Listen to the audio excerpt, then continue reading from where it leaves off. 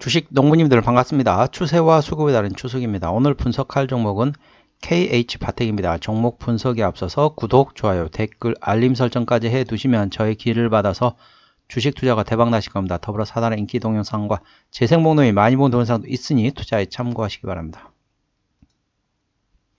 예, 주가 많이 떨어졌습니다. 예, 이렇게 많이 떨어졌는데 예, 이제 스마트폰이 이제 뭐 새로 뭐 나온다고 하더라도 이렇게 스마트폰, 핸드폰 부품주들이 전반적으로 조금 힘을 못 내고 있는 상황인데 일단 리포트 내용 먼저 말씀드리겠습니다. 네 가지 성장 동력 해가지고 foldable, 티타늄, 메탈, 전장이라는 리포트 제목입니다. 네 가지 성장 동력으로 또 한 번의 도약을 준비 중이다. 다수의 우려가 존재하는 게 사실이다. foldable의 성장이 불투명하고 힌지 점유율 하락이 예상되며 성장 동력 부재라는 의견들이 나오고 있다. 그러나 우려가 과하다고 볼 수 있다. foldable, 티타늄, 메탈 케이스, 자동차 전장용 메탈 부품의 신성장 동력을 기대해보자. 우려는 이미 주가에 선반영된 상태이다. foldable 모멘텀은 아직 끝나지 않았다. 중국향 수주 기대와 애플 그리고 초high-end 그리고 보급형 그리고 대화면 그리고 rollable 등의 이슈가 아직 남아있다. KH바텍의 주가 저점은 연말이었던 경우가 많다. 현 주가에는 이미 우려들이 녹아있는 상황이다. 성장 동력을 감안해야 하는 시기와 주가 수준이라는 판단이다. 네, 이런 내용이 되어 있습니다. 관련돼 가지고 이제 음, 주가 많이 떨어졌는데 관련돼 가지고 아까 말씀드렸던 것처럼 이 리포트 내용처럼 이제 핵심은 뭐냐면은 힌지에 대한 예전에는 거의 뭐 독점처럼 돼 있는데 힌지라는 게 그렇게 막 어려운 진입 장벽이 높은 그런 건 아니거든요. 예, 관련해 가지고 힌지라는 거는 어느 기계라든지 어느 가전 제품에 다 들어가 있습니다. 힌지라는 걸 다른 말로 말하면 이제 경첩. 근데 저는 경첩이란 말이 맞는지 모르겠어요. 경첩하고 힌지가 좀 다르긴 한데 아무튼 뭔가 이렇게 에, 움직이는 부분에 움직이는 부분에 거기에 들어가는 에, 뭐라고 해야 될까요? 브라켓 종류라고 해야 되나요? 에, 그런 종류이기 때문에 이게 그렇게 어려운 건 아니거든요. 예를 들면 뭐 가전제품에도 냉장고 같은데 어떻습니까? 냉장고 같은 문을 열었다 닫았다 하잖아요. 그리고 뭐 핸드폰도 물론 핸드폰은 KH 바텍이 이제 하는 거고 예를 들면 뭐 기계 같은 거에서도 기계도 뭐 움직이잖아요. 핸들도 움직이고 뭐 움직이 자동차도 그렇고 기계도 다 움직이고 그러잖아요. 거기에 다 들어간 게 브라켓 종류인데 네, 그걸 이제 힌지라고 얘기를 하는데 그게 그렇게 어려운 진입 장비 엄청 오래 뭐 엄청나게 이게 뭐 이렇게 진입장 높다. 뭐 그 정도 수준은 아니에요. 그렇다 보니까 시장적으로 예전엔 거의 독점처럼 했는데 현재는 조금 점유율이 좀 떨어진다. 그런 것 때문에 주가가 좀 많이 떨어졌는데 너무 과하게 떨어졌다는 리포트 내용이었다는 걸 투자에 참고하시 기 바랍니다. 이 종목을 한번 차트 한번 분석 한번 해보도록 하겠습니다. 아우 상당히 많이 떨어졌네요. 22,000원에서 예, 13,000원대까지 떨어졌기 때문에 거의 한 마이너스 뭐 40% 이상 예, 22,000원에 반토막이 11,000원이거든요. 그러니까 2만 2천원에서 한 13,000원대까지 떨어졌기 때문에 한 마이너스 40% 정도 떨어졌다 보시면 되겠습니다. 네, 주가가 떨어지고 항상 말씀드리고 있지만은 주가가 떨어지는 어떻다? 두 가지가 있습니다. 첫 번째는 가격 조정, 그 다음에 기간 조정입니다. 자, 우리 일반 개인 투자자는 그렇죠. 자, 가격 조정이 나올 때는 버팁니다. 예를 들면은 이게 예, 예를 들면 이, 이 종목으로 말씀드릴게요. 22,000원에서 13,000원까지 마이너스 40원 거의 반토막 났습니다. 버티는 거죠. 그래 언젠가는 오르겠지. 내가 한 2만원에 샀는데 언젠가는 오를 거야. 지금 14,700원인데 2만원까지 언젠가 오를 거야. 나 버틸 거야. 라고 하시는 거는 주가 주가 가격이 떨어질 때는 버팁니다. 사람들이. 언젠가 버티겠지. 근데 문제는 뭐냐면은 가격 조정이 아니라 기간 조정이 문제란 겁니다. 에이, 뭐 금방 오를 거야. 한 달, 여기서 보시게 되면은 대략적으로 여기서 보시면 여기서 한 달, 두 달, 지금 한 석 달째 횡보를 하고 있거든요. 예, 버티는 거죠. 처음에 한 달은, 아이, 그래, 조금 시간이 가네? 두 달 지나면, 오르겠지? 3개월 지나면, 한 6개월 지나면, 아, 슬슬 지겨워지는데? 한 1년이 되면, 아이고야, 못하겠다. 이렇게 되는 거죠. 그래서 기술적 반등 나오게 되면 딱 정리하는 겁니다. 그렇기 때문에 제가 항상 말씀드리고 있습니다. 그런 걸 감안해 가지고 손절을 치는 겁니다. 자, 2만원, 나 2만원을 샀는데 대략 이 종목에 손절을 쳐야 될 구간은 한 18,000원 정도 됐습니다. 예, 대략적으로 한 마이너스 한 10% 정도 되죠? 어, 마이너스 10%에서 많으면 마이너스 한 15%. 이 구간에 손절을 쳤어야 돼요. 그런데 여기서 다시 오르겠지라고 생각했다가 쭉 떨어지니까 이제 마이너스 한 40%가 되는 거죠. 이제 지금은 손절치가 힘든 거죠. 아, 지금은 횡보도 한 3개월 됐는데 어떻게 하냐. 되면은 이런 때 하시는 방법이 있습니다. 제가 이제 항상 이 주가 많이 떨어진 종목 항상 제가 말씀드리겠죠. 예를 들면 나 이 종목을 2만 원을 샀어. 예, 신고가가 2만 2천 원인데 나 2만 원을 샀어. 지금 1만 5천 원대야. 그러면은 마이너스 대략 계산하게 되면 어떻습니까? 2만 원 대비 1만 5천 원이면은 거의 한 예, 얼마인가요? 2만 원 대비 1만 5천 원. 5, 35, 5, 4, 20. 예. 마이너스 한 25, 20, 한 마이너스 한 30% 될까요? 되잖아요. 대략적으로 한 마이너스 30%면 손절을 못 칩니다. 그러면은 계속 기다립니다. 언젠가에 오르겠지. 그게 잘못 걸리면 1년이 걸릴 수 있어요. 이미 한 3개월은 지나갔거든요. 횡보를. 바닥권에서 횡보를 한 3개월 지나갔습니다.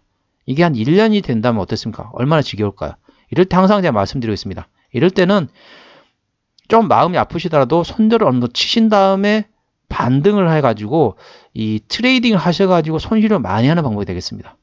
물론 이 종목을 2만원, 2만 2천원에 사신 분이 계시다면은 언젠가는 오를 수 있습니다. 그게 1년이 될지 얼마나 될지는 아무도 몰라요.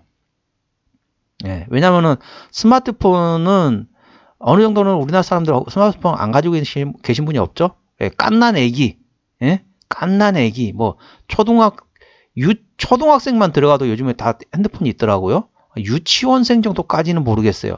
근데 그런 아주, 아주 꼬맹이들을 빼면은 우리나라 국민 대부분 다 가지고 있습니다. 물론 해외도 마찬가지. 해외도 어느 정도 대부분이 어느 정도 스마트폰 관련된 거 많이 들어갔죠. 그러다 보니까 성장에는 어느 정도 한계가 있습니다. 그렇기 때문에 이런 경우 어떻게 한다? 자, 반등 노려가지고 이렇게 기술적 반등 노려가지고 대응하시면 되겠습니다. 이런 식으로 하게 됐습니다. 대략적으로 설명드릴게요. 대략적으로 이 종목은 한, 음, 16,000원에서 17,000원 정도 오게 되면은 일부 좀 손절을 치세요. 일부 손절 치신 다음에 대략적으로 14,000원, 15,000원 오게 되면은 다시 삽니다. 이 팔았던 손절을 쳤던 돈을 그대로 다시 삽니다. 그럼 물, 물량은 그러니까 수량은 증가하겠죠. 그 수량만 다시 대략적으로 16,000원에서 17,000원 또 다시 이, 이 샀던 물량만 파는 거죠. 그러다가 다시 이 팔았던 돈을 다시 어떻게 하나? 16,000원에서 15,000원대면 다시 삽니다. 그러니까 이게 지금 쉽게 지금 몇 번 했지만은 한 대여섯 번, 일곱, 여덟 번 될 겁니다. 계속 왔다 갔다 할 거예요. 왜? 여기서 상당히 내려오면서 주가가 많이 내려오면서 상당히 심리적으로 상당히 압박이 많이 크다 보니까 조금만 오르면 파는 사람 많을 겁니다. 뭐 올라가면은 더 오르겠지 하는데 거기서 사람들이 매물이 쏟아집니다. 그럼 다시 맞고 떨어집니다. 그렇기 때문에 이런 식으로 trading 하셔가지고 손실을 일부 만회하셨다가 대략적으로 19,000원에서 2만원 정도 오게 되면은 아마 손실을 어느 정도 회복이 많이 됐을 겁니다. 구간에서 빠져나오신 방법이 되겠습니다. 아니 22,000원 갖고 3만원까지 갈 수 있지 않냐? 예, 여기 주가가 한번 보시게 되면은 올라갈 때 어떻게 하냐? 에너지를 소비를 하기 때문에 에너지 소비하게 되면 어떻다? 다시 에너지를 비축하려고 다시 내려옵니다. 예를 들면은 대략적으로 19,000원, 2만원에서 예, 제가 팔라고 말씀드렸는데 아, 더 오를 거야. 더 오를 거야. 3만, 2만 2천원의 신고가 충분히 돌파할 것 같아. 그래서 가지고 계시다가 다시 14,000원, 15,000원까지 떨어지면 그때 생각나실 겁니다. 어? 아, 추수기가 그때 파라고 할 걸. 파라고 할 때 그때 팔았으면은 다시 내려오면 어떻게 해요? 그래 되면 다시 여기서부터 다시 이 가격대에 올라면 다시 한 6개월 이상 걸립니다. 그래 되면은 여기서 시간이 걸렸죠? 여기서 또 시간이 걸립니다. 그러면 1년 반, 2년이 걸릴 수도 있습니다. 그렇기 때문에 이런 식으로 trading 해가지고 손실 없이 조금 조금 손실을 만회하면서 빠져나오는 방법이 있다는 것도 투자에 참고하시기 바랍니다. 아, 난 그 잘 모르겠다. 22,000원까지. 나 내 종목, 나 2만원에서 22,000원 그 사이에 샀는데, 나 그때까지 기다릴래? 네, 기다리셔도 됩니다. 근데 시간이 얼마나 걸릴지는 제가 장담 못 드린다는 걸 투자에 참고하십니다. 항상 말씀드리죠. 기회비용입니다. 주식은 시간이 돈입니다. 예, 이게 22,000원, 2만원까지 가는데 시간이 오래 걸린다고 해가지고 가지고 계시면 그때까지 올라, 올라올 수는 있어요. 그지만은 남들은 여기서 대략적으로 19,000원, 2만원대 정리하고 다른 정보를 갖고 투자했고 돈을 벌 수 있어요. 그 돈을 그대로. 근데 여기에 묶여 있으면은 다른 걸 투자를 할 수가 없습니다. 그렇기 때문에 꼭 그 점 참고하시고 시간이 많이 흘러갔네요. 지지대 저항 때 말씀드리고 빨리빨리 진행하도록 하겠습니다. 자, 지지대 같은 경우는 오늘 14,790원인데 지지대 같은 경우는 14,000원이 되어 있고요.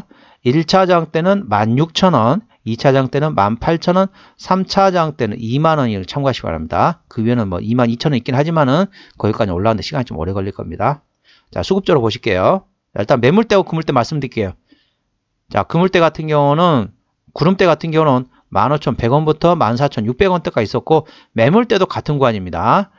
예, 15,400원부터 14,600원이고 그 위에 매물대는 대략적으로 18,500원부터 해가지고 대략적으로 2만원까지 2만 1천원까지 있기 때문에 이건 상당히 두텁다는 걸 투자에 다시 한번 참고하시기 바랍니다. 제가 다 알고 미리미리 말씀드린 겁니다. 이 매물대가 있다는 걸 다시 한번 참고하시고요. 시, 에, 수급적으로 보시게 되면 외국인이 한 달 동안 20만 9천 주를 샀습니다. 전반적으로 외국인은 현재 사고 있고요. 기관 한 달 동안 51만 9천 주를 팔았는데 지금 현재 파는 기조라고 보시면 되겠습니다. 오늘 찔끔 사긴 했지만은 전반적으로 기관은 팔고 있고요. 금투가 팔고 있고 투신이 팔고 있고 연기금은 현재 팔았다가 트레이드로 바뀌었고 사모펀드 현재 팔고 있습니다. 현재 연기금만이 trading 정도 수준이고 나머지 수급들은 제게 관망을 하거나 현재 순매도를 하고 있다는 것도 참고하시고 이 종목은 기관이 handling하고 있다는 것도 투자에 참고하시 기 바랍니다. 신용비율 같은 경우는 4.28%이 정도는 다소 높습니다. 신용비를 보는 이유는 고점에서 단발적인 이슈로 해서 주가가 급락 시 신용에 대한 담보 부족으로 해서 반대매 물량이 나기 때문에 확인하는 건데 4%부터는 다소 부담되고 3%대까지는 사도 다소 안정제다 말씀드리고 있습니다. 그래서 동사는 4.28%이기 때문에 다소 부담되고 다소 리스크가 있다는 걸 투자에 참고하시기 바랍니다. 자, 최대주 지분율 보겠습니다. 최대주 지분율은 25.2%입니다. 예, 중소형주죠. 동사는 동사는 중소형주이기 때문에 어떻다? 예, 최대 주분율은 책임 경영 확인 차원에서는 30%는 돼야 된다는데 동사는 25%대이기 때문에 다소 약하다, 다소 미흡하다. 추가적으로 조금 더 예, 최대 지분율이 조금 더 들어와야 된다는 걸 투자에 참고하셔야 합니다. 책임 경영 확인 차원에서 그렇다는 거죠. 동사는 무한회사다. 예, 핸드폰 부품주라고 보시면 되겠습니다. IT 부품주라고 보시면 되겠습니다. 실적 보시게 되면은 매출액이 작년에 3,600원대에서 올해 4,000억 원대, 내년에 4,700원대까지 증가하고요. 영업이익은 작년에 325억에서 올해 350억, 내년 430억. 그러니까 작년 대비 올해는 약간 증가하고 올해 대비 내년 상당히 좀큰 폭으로 좀 증가할 것으로 예상되네요. 단기순익 같은 경우는 작년에 250억 원대에서 올해 410억, 내년에 418억까지 예, 좀 증가한다고 보시면 되겠습니다. 자, 분기 실적 보시게 되면은 영업이익 기준으로 작년에 213억에서 올해 204억, 약간 좀 약해졌죠. 역성장이 있고. 자, 4분기는 작년에 25억에서 올해 62억. 예, 이제 YOY 기준으로는 작년보다 좋아지고 있지만은 QOQ 기준으로는 조금 많이 감소하네요. 어떻습니까? 연말이 되면 조금 예, 이제 비수기라고 보시면 되겠고 자 1분기 같은 경우는 작년에 13억 올해 37억 자 2분기는 작년에 60억 올해 60, 올해 2분기죠 올해 2분기 60억에서 내년 2분기 70 억까지 전반적으로 이제 조금 조금 실적이 좋아지는 기업이 좋아지는 기업이라고 보시면 되겠습니다. 그래서 3분기 때 다소 예, 약간 작년보다 약간 적어지긴 했지만은 전반적으로 괜찮아진다. 그렇게 보시면 되겠습니다. 그래서 올해가 350억, 내년은 440억 정도 예상되고 있기 때문에 내년 실적을 기대해, 기대해 보셔도 되겠습니다. 투자에 참고하시 기 바랍니다. 자, 부채비율은 50.3%, 유보율은 1900%대이기 때문에 재무적으로는 튼튼한 회사라고 보시면 되겠고요. 내년 실적 기준으로 음, 영업이익률은 9.2%이기 때문에 일반 제조업보다 약간 더 높다. 그렇게 보시면 되겠습니다. EPS, 내년 EPS는 1689원입니다. 1689원이고 BPS는 13,300원대이기 때문에 자 1,700원 기준 한번 valuation 볼게요. 1,700원이면은 자 17,000원이 10배입니다. 1,700원, 34,000원, 6만원, 그러면 8배, 현재 9배, 8배 수준이라고 보시면, 8, 9배 수준이라고 보시면 되겠습니다. 적정 주가 valuation 얼마냐? 15배에서 한 20배가 적정 주가입니다. 예, 동사는 현재 PER 한 8배, 9배이기 때문에 지금에서 더블이 되면은 지금이 14,790원이잖아요. 더블이 되면 아 적정 주가 이제 진입했다. 그래 보시면 되는데 자 일단 이거는 아까 valuation 기본적 분석인 거고요. 차트 기술적 분석을 보시게 되면 주가가 떨어질 때 사람들 심리가 상당히 많이 무너졌어요. 그렇기 때문에 쉽게 말하면 멘탈에 많이 붕괴되다 보니까 어떻다? 오를 때마다 사람들이 계속 물량을 내놓을 겁니다. 그럼 어떻다? 조금 오르면은 맞고 떨어지고 반락하고 다시 재반등하면 다시 재반락할 겁니다. 그렇기 때문에 아까 말씀드렸던 것처럼 이런 식으로 trading, 손절을 일부 치셨다가 trading 하셔가지고 손실을 계속 만회하셔가지고 빠져나오는 방법이 있다는 거 참고하셔야 합니다. 이 종목이 들면 나는 2만원, 2만 2천원 가지고 있는데 이거 언제까지 기다려야 될까요? 아, 그건 어느 누구도 모릅니다. 시간이 얼마나 걸릴지 모릅니다. 왜? 주가가 떨어질 때 사람들이 상당히 상당히 뭐라 하죠? 멘탈이 많이 무너졌기 때문에 주가가 오를 때마다 대부분 다 매물을 내놓을 겁니다. 이 때문에 계속 오를 때마다 매물이 쏟아질 것으로 예상되고 있기 때문에 계속 기다리신 것보다는 이런 식으로 트레이딩을 하셔가지고 손실을 만회하셔가지고 빠져나오는 방법이 있다는 걸 투자에 참고하시 기 바랍니다. 자, 기업 개요로 들어가겠습니다. 시간이 좀 많이 흘러가서 빨리빨리 마무리할게요. 진행하겠습니다. 어디서 실적이 나오느냐? 자, 조립 모듈에서 59%, 알루미늄에서 27%, 그 다음에 패키징, 예, FPCB네요. FPCB에서 76%, 그 다음에 나머지 기타라고 보시면 됐습니다. 대부분 이제 뭐 아까 말씀드렸던 것처럼 음, 관련된 예, 힌지 쪽 관련된 IT 스마트폰 부품에서 나온다라고 보시면 되겠습니다. 자, 자본금 변동액 보시게 되면은 2021년도가 마지막이었네요.